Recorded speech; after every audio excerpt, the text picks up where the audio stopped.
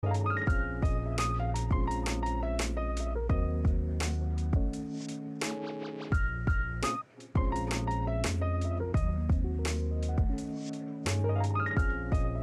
it's Crystal, your very own personal beauty pro. When I say I'm a beauty pro, I actually am a professional makeup artist of over 10 years. On the course of those 10 years, I've also become a licensed hairstylist and esthetician. Primarily, my work is in what's called commercial or advertising, but I also do editorial work like the kind you find in magazines, New York Fashion Week, and a lot more. One of the things I love most is taking those pro secrets tips and techniques and bringing them to the everyday person. If you are an existing supporter, hi pretty people. If you are new, welcome. I hope that you will comment, you will hit the thumbs up, subscribe, and most importantly, that you will hit the notification bell so that when you need your own beauty pro, you know where to find me.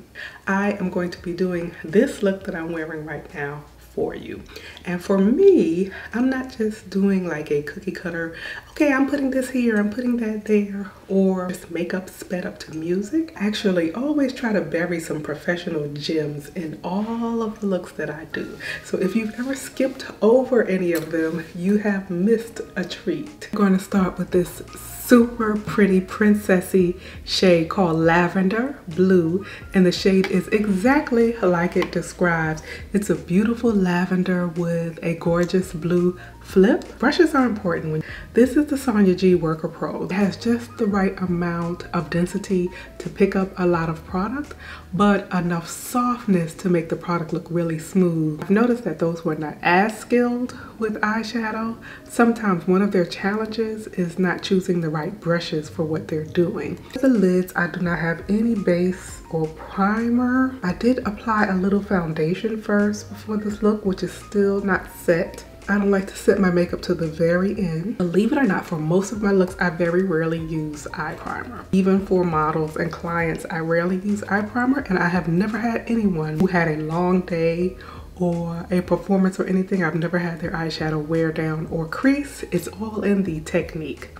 There are a handful of eye primers that I think are reputable and good, but you can also do a long wearing look without primer. So I'm gonna pack this on first just to get the placement. This brush is perfect for this because it's giving me the intensity and the blend at the same time. Now we're coming in for that second layer and that's what it's gonna give you that snap, crackle, and pop on your lid and show off its intensity.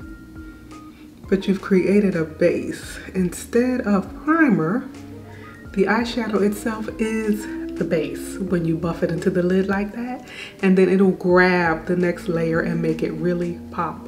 And that's without having all that gunk and all those layers of primer and all that concealer and all that powder that I'm seeing people doing.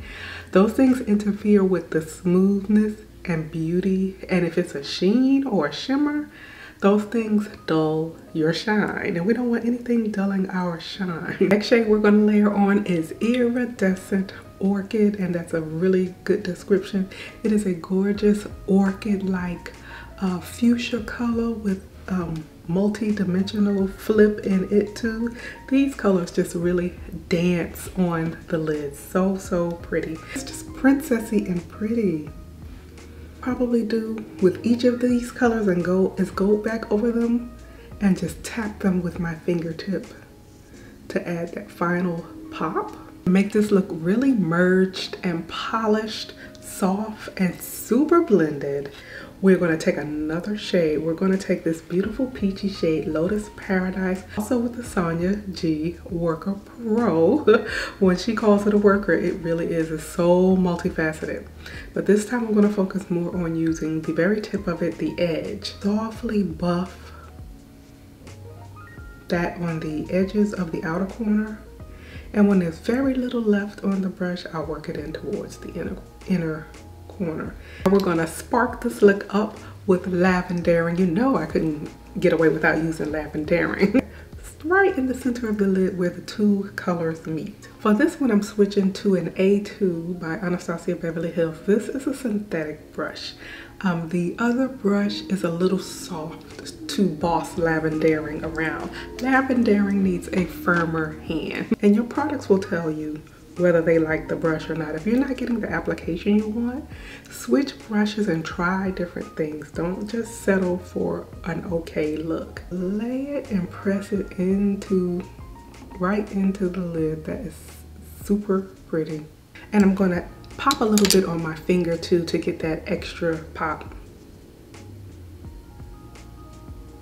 Like I said before, I feel like this year's quads are really like combined a mothership all by themselves. They mix and match so beautifully. So I am going to use more of the Risque Rose and we're going to go into that pink. I want to start deepening the outer corner, but instead of going straight for the chocolate brown, you want to get darker more gradually. I'm going to hold the brush up on an angle right at the lash line where you want the intensity and build it on an angle going up towards the outer tail of the brow. Now we can add that delicious hot chocolate, the Mink Noir. So I've started with just a teensy bit of product and you just want a whisper of smoke out here. I'm going to pause right here and walk you through how we're going to finish off this look. Before I smudge out the lash line with the chocolatey brown, I'm going to take a black eyeliner by Pat McGrath, of course. I'm going to take the pencil eyeliner and I'm going to rim out the lash line. That's going to intensify the lash line. Then I'm going to smudge that out with the brown. Very, very tight, very, very close to the lash line so it doesn't take over these pretty pastels. You want to be as intentional and purposeful with what you're going to do to the lower lash line. A lot of people just let the lower lash line happen. They might put on some eyeliner, maybe some mascara, and that's it. But you really want to, even if it was just eyeliner, you want to go back and soften the eyeliner so it looks really perfected and smoky or sharp and black. But either way, let your eyeliner look intentional, not just thrown on. But for this look, we're gonna go back into the lavender blue. And for the innermost corner, I'm going to apply that color like it was eyeliner. Of course, you want to do the lash justice by either having the most fabulous natural lashes with mascara or by adding a lash enhancement. Okay, so we've got the eyes completed. We are going to tidy up the complexion, add a little bit more foundation and concealer. Then I will come back and show you how that pat highlighter applies.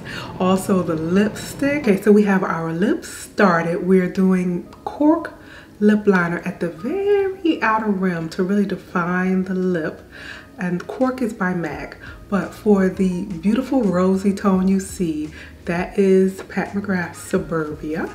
The brand new uh, More, that beautiful uh, pink with sort of a hint of coral in it. I'm gonna fill in the center of the lip and merge it out into the liner. Pop on a bit of that spectacular highlighter and champagne gold. Highlighter, as I mentioned in my review, is not the one to give you that instant foiled finish.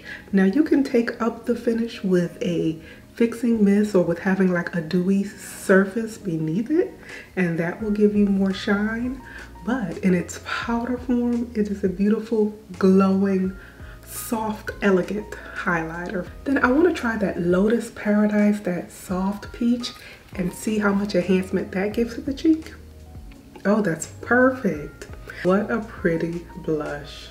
And that brings us to our finished first look with the new Pat McGrath quads. I enjoyed creating this look for you and I hope you got some uh, buried treasures, some good tips and tricks for when you are going to be applying your own look, whether you bought these quads or whether you're going to try some similar looks with products that you already have. I look forward to seeing you in a video very soon, but until next time, keep it pretty.